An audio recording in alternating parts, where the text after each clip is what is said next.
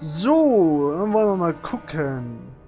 Ich glaube, ich muss noch irgendwo einen Rückzug machen, so wie es ausschaut. Nur wo? Ah! Ja. Okay. Gut.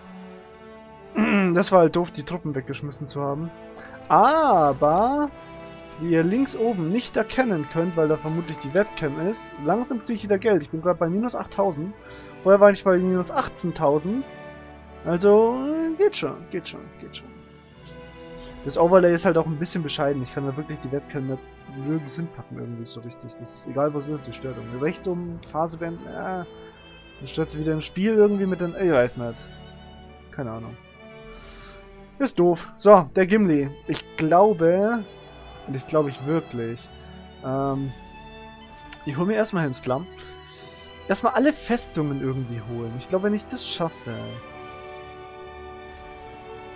dann wird's besser. Genau, hier noch die, die Festung zerstören. Ich, also der dann einfach nur durchs ganze Land zerstört alles.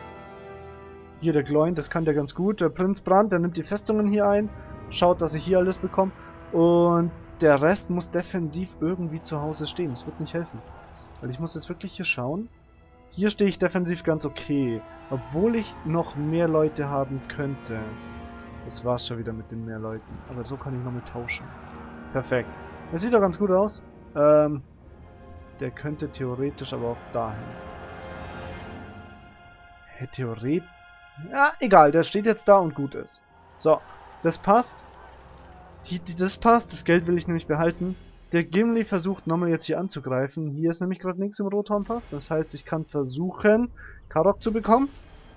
Könnte vielleicht funktionieren. Und Dol Guldur ja, wird nicht einfach. Aber sehen wir dann schon. Und der Rest, ich weiß nicht. Weil Dol Guldur ohne Held verteidigen wird, wird schwierig. Vielleicht teilen sie sich auch auf. Na, vergiss es. Die gehen, die gehen komplett rein. Ah, ich krieg das Land kampflos, sehr schön. Äh, ich glaube, als erstes holen wir uns Hemsklamm. Ja. Das sollte nicht allzu schwierig werden. Hemsklamm ist so eine Festung, die ist einfach saumäßig stark. Du, du hast halt drei... Du hast halt so viel Geld. Sie ist recht klein, aber... Sie hat auch keine Türme. Aber mit den drei Vorposten, das gefällt mir. Und du kannst echt gut verteidigen. Zumindest gegen die KI. Ich weiß nicht... Ich weiß wirklich nicht, wie das ausschaut äh, mit, mit Menschen, weil die spielen ja anders, ne? Die werden ja nicht einfach nur einfach nur immer aufs Tor drauf rennen, sondern versuchen vielleicht den Wall zu durchbrechen, wie im Film, oder andere Dinge. Hm, weiß man ja nicht. Deswegen, naja. So. Da rein, da rein, da rein. Dann könnt ihr da reingehen und dann da rein. Die Frage ist natürlich, wo ist der Gegner? Ein Teil davon wird in der Festung sein, das ist klar. Ein anderer wird irgendwo hier vermutlich äh, angekommen sein. Oder hier. Naja, mal schauen. Aber nichtsdestotrotz, ich baue jetzt einfach weiter schön Minen. Für Geld. Und dann können wir mal gucken. Vielleicht Truppen ausbilden. Toll gemacht. So, ein Feind wurde vernichtet. Genau. So, schaut doch ganz okay aus. Danke, dass er mir das Tor nochmal öffnet. Das ist sehr nett. I appreciate that. Nee, es ist echt nett von denen. Also das finde ich sehr zuvorkommend. Die dürfen das gerne machen. Hier schön das Türsche öffne. Wie blöd kann man sein? Aber ist halt KI, ne? EA-KI. Alles, was sie macht, ist Cheaten. Und blöd sein. Ich meine, manchmal macht sie ganz interessante Dinge, wenn sie Mauern baut um die Festungen und so. Es geht, aber ich finde es halt schade, wenn eine KI nicht wirklich... Also, wenn ich jetzt eine KI programmieren würde für ein... Für ein oder ich könnte das. Für ein Spiel. Klar, da muss es verschiedene Schwierigkeitsstufen geben. Aber auf der schwierigsten, brutal, Ich würde nicht machen, dass die cheatet unbedingt. Das kann man immer noch machen, dann brutal uncheaten zum Beispiel, von mir aus. Aber ich würde halt machen, nach, nach meinem, dass sich die KI so klug wie möglich macht. Wirklich, dass, dass sie Einheiten baut, um deine zu countern, Störangriffe macht, äh, einfach, einfach richtig, richtig nervig und überall die Fähigkeiten gescheit einsetzt. Und ja, nicht das Tor öffnet zum Beispiel. Und dann auch vielleicht verschiedene Strategien, dass eine KI zum Beispiel ein bisschen turtelt, also sich so, sich so einbunkert, eingräbt, verteidigt viel mit Türmen und dann da stark ist. Das hat EA mit Command Conquer 3 gemacht. Da gibt's das. Ähm, ist nett, aber so richtig verschieden agieren tun sie auch nicht. Und auch vom Blizzard mit der KI bin ich ziemlich enttäuscht. Irgendwo. Also, ich hätte gerne eine KI, die so ich meine, theore theoretisch, sage ich jetzt, ich stelle das jetzt mal so im Raum. Theoretisch kann eine künstliche Intelligenz, wenn sie wirklich gut programmiert ist, so stark sein, dass ein Mensch sie nicht besiegen kann. Einfach weil sie schneller ist mit allem. Du kannst ja machen, dass sie zum Beispiel gut micro, also die Einheiten gut kontrolliert, in, in Stellung bringt, Information und, und alles. Das, das geht ja. Man kann das programmieren. Ist halt viel Aufwand und sicher nicht einfach. Aber es wäre machbar. Ich meine, ich habe das, wenn, wenn ihr mal das sehen wollt, da gibt's bei, auf YouTube, hat das jemand programmiert mit dem Editor von, von Blizzard bei StarCraft 2, eine KI, und die macht dann, die, die, die, die benutzt ihre Einheiten echt auf einem Niveau, das kann ein Mensch gar nicht, weil es einfach zu viele Aktionen auf einmal erfordern würde. Die, die macht dann zum Beispiel, wenn du da jetzt diesen Panzer hast im, im Belagerungsmodus und der macht ja dann Flächenschaden und dann rennen da die Zerklinge rein. Normalerweise sterben dann mehr als ein Zerkling, weil Flächenschaden, ist klar. Und was die KI dann macht, ist, kurz bevor der Schuss vom Panzer trifft, splitten alle Zerklinge um den einen Zerkling, der getroffen wird, weg, sodass nur der eine stirbt. Sowas dann zum Beispiel, das könnte ein Mensch gar nicht. Der wüsste gar nicht, welche, welcher Zerkling jetzt angegriffen wird. Ist klar. Also, ne, bei dem ganzen Hin und Her und dahinter noch Makro und alles, aber eine KI könnte das. Die hat ja keine Finger, die hat keine Limitation. Die kann ja alles zeitgleich machen. Die hat halt dann 1000 Anschläge pro Minute. Oder 2000, aber ist ja egal. Ist ja KI, darf das ja. Das finde ich halt mal stark, zu probieren, so eine KI zu programmieren. Und wenn du sie dann hast, schauen, kannst du, wie lange, wie kannst du gegen die bestehen? Oder kannst du sie vielleicht tatsächlich durch strategisches Denken überlisten und dann besiegen? Das wäre, das, ich, ich fände das saumäßig spannend. Kann man eine KI dann so besiegen? Oder auch eine KI, die lernfähig ist? Die dann sagt, okay, sie merkt, du, du spielst immer sehr aggressiv, dann spielt sie ein bisschen defensiver, bereitet sich mehr verteidigen. Jetzt nicht so, dass eine KI weiß, wo deine Einheiten stehen, mit diesem Map-Hack, dass er weiß, okay, du bist da an, in der Location, du baust gerade dieses Gebäude, du baust gerade diese Einheit, deswegen geht sie jetzt schon anti. Das wird Cheating. Das, das muss nicht sein. Aber halt einfach, okay, sie sieht, sie scoutet, du baust diese Einheiten. Also wird sie jetzt anti gehen. Und dann auch nicht, dass die KI jetzt weiß, du gehst anti und dann, dann wirft sie einen Scan. Einfach damit es so aussieht, als würde sie scouten. Nein, sondern wirklich, dass sie es halt nicht weiß Sie hat jetzt nicht ein Map-Pack und sieht die ganze Map, weil mit einem Map-Pack, wenn ich jetzt zum Beispiel hier mit einem Map-Pack spielen würde, äh, dann würde ich quasi die ganze Karte ohne Nebel sehen. Ich wüsste sofort, was der Gegner macht, wo er ist, was er baut, was er erforscht. Das wäre Map-Hack. Sowas, sowas hätte ich nicht wollen bei einer KI. Das braucht's einfach nicht. Wenn man sich da richtig Mühe gibt, denke ich, dass man eine KI schaffen kann, die, die kein Mensch besiegen kann. Vielleicht sogar auch ohne dieses, dieses Super-Micro, wo ich gerade vorhin erklärt habe mit den Zerglingen.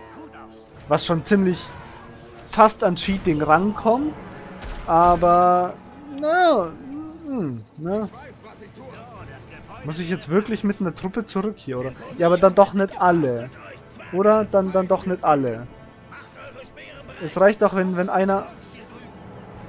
Vergisst's. Ist egal. Ist wurscht. Sammelt euch hier, schön in Formationen gehen. Das regt mich schon wieder auf hier, dass die Truppen immer so sich aus auseinander teilen und dann so einen Schwachsinn machen. Das brauche ich nicht. Ich brauche hier eine feste Formation. Und dann, sobald ihr in Formation seid, wie fahren die Katapulte? Oh mein Gott. Oh yeah, Physics, man, Physics. Mm, oh yeah, und ineinander durch. Oh nein, Grabon. Ach du Heilige. Ja, dann rennst da hoch und killst die Grabon. Wie viel Schaden macht er denn an der Mine? Boah. Schon einiges, ne? Bums. Oh, die nimmt gut Schaden, die Mine. Die arme Mine. So, das Gasthaus... Wo ist er denn gespawnt? Irgendwo da unten, denke ich. Aber ich weiß es halt nicht mit Sicherheit, ist das Problem. Naja, dann zerstören wir halt noch ein Grab und Holt. Hort, oder wie heißt denn das? Grab und Höhle? Gruft, Gruft. Eine Gruft ist das. Die irgendwie nach oben führt, statt nach unten. Ah ja, alles klar. Also die Treppen gehen auch nach oben, oder? Sehe ich das falsch? What? Ich glaube, das ist nicht wirklich korrekt. Die, der Grabunhold macht die Mine noch kaputt. Ich kotze ab.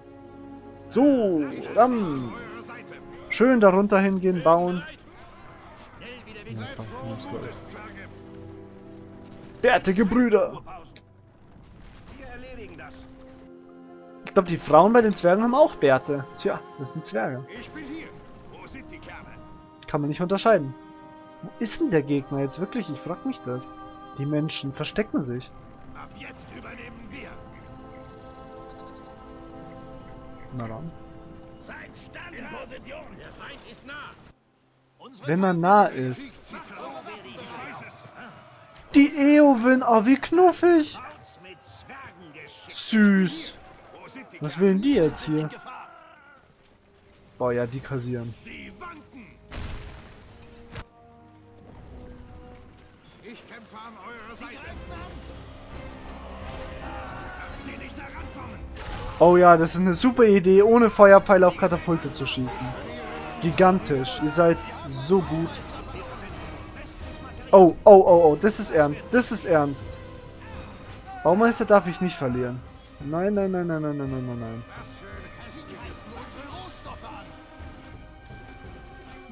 Die Eowyn, die schafft es auch nicht. Sie müsste ja nur jede Axt mit dem Schild blocken, aber darauf, auf die Idee kommt sie nicht. Die Äxte treffen sie ja nicht mal. Die schießen ja volle Kanne vorbei. Aber ist ja egal. Und schon wieder schießen sie auf das Gebäude statt auf die... Nice. Also mir ist es neu, dass das so mit der Umgebung interagiert wird, aber es gefällt mir. Es gefällt mir sehr gut. So, wo sind sie denn jetzt? Irgendwo müssen sie sein, oder?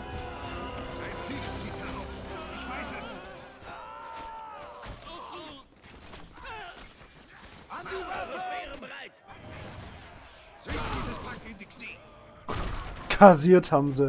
Aber hallo. Genau wie die schon wieder. Ah, da hat ein Einstein getroffen. Guckt euch das an.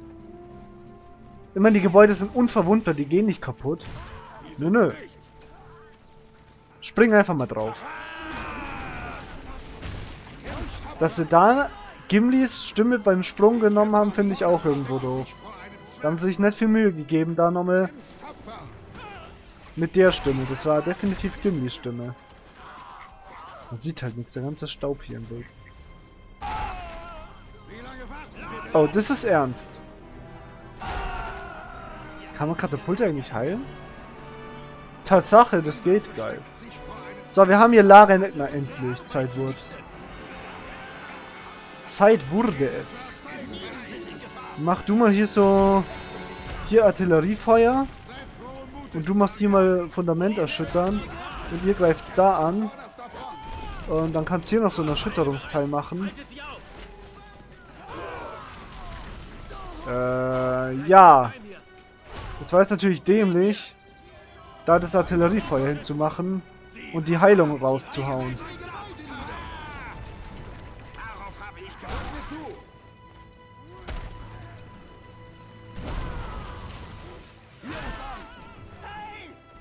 So, spring mal. Ja, war doch ganz guter Treffer. Ja, das merkt man. So, wie schaut es hier aus? Die haben überlebt. Sehr schön, brav, gut, danke. So, Menschen aus Tal. Schatzboni. Türmsche. Hobbits. Reparatur. Einfach alles raushauen, was geht. Und noch ein bisschen Kriegshorn. Ja, ja, das wirst du schon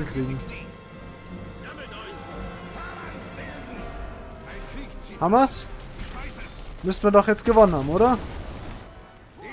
Ja, da hinten haben sie noch eine Kaserne. Der hat echt viel Stuff aufgebaut, unglaublich. Zwei Kasernen, eine Stallung, dann noch irgendwas Zeugs. Der ist es aber tot, oder? Na also. Na also. Ich hoffe, ich habe jetzt keine Truppen verloren. Gleich mal nachschauen. Zeig mal her. Zwei Katapulte, zwei Menschen, zwei, vier. Okay, passt. Passt. So, schön speichern. Schön speichern.